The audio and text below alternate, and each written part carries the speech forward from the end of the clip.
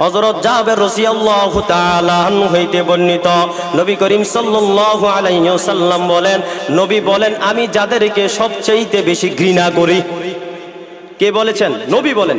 নবী বলে, এমন কিছু শ্রেণি মানুষ আছে, ওই শ্রেণি মানুষকে আমি বসক বেশি ঘৃণা করি। আল্লাহ রসুল সাল্লাল্লাহু আলাইহি সাল্লাম বলেন, আল্লাহ রসুল সাল্লাল্লাহু আলাইহি সাল্লাম বলেন, তিন শ্রেণি মানুষ এমন আছে, ওই তিন শ্রেণি মানুষকে আমি নবী বেশি ঘৃণা করি। নবী যেখানে বান্দা উম্মতকে ঘৃণা করবে আল্লাহ ওই বান্দারে পছন্দ করবে না। ও ভাইয়েরা আমার, নবী বলেন, তিন শ্রেণি ব্যক্তি এমন আছে, ওই তিন শ্রেণি ব্যক্তিকে রসুল্লাহ বেশি ঘৃণা করে। এক নম্বর হলো, আল্লাহ রসুল বলে দেন, উম্মতের মধ্যে ওই উম্মতকে বেশি ঘৃণা করে যে উম্মত অনর্থক বেশি কথা বলে, বেশি কথা বলে গণ কথা বলে, অনর্থক কথা বলে। ওই উম্মতকে আল্লাহ রসুল বড় ঘৃণা করেন।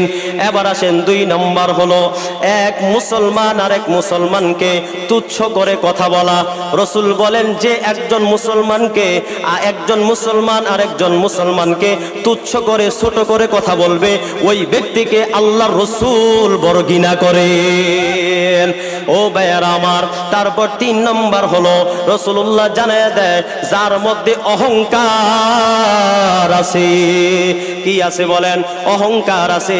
এই তিন শ্রেণি মানুষকে রসুল্লাহ সাল্লাহ আলাইসাল্লাম বর্গিনা করেন। এক নম্বর হলো, যারা অনর্থক কথা বলে। দুই নম্বর হলো, একজন মানুষ আর একজন মানুষকে তুচ্ছ করে কথা বলে, ছোট করে কথা বলে। তিন নম্বর হলো, রসুল জানায় দেয়, যার মধ্যে অহংকার, হিংসা থাকবে, ওই উম্মতকে রসুল্লাহ বেশি ঘৃণা করে। তাহলে আল্লাহ আমাদের তিন শ্রেণি মানুষ হওয়া থেকে দূরে রাখুক, বলেন, আমিন।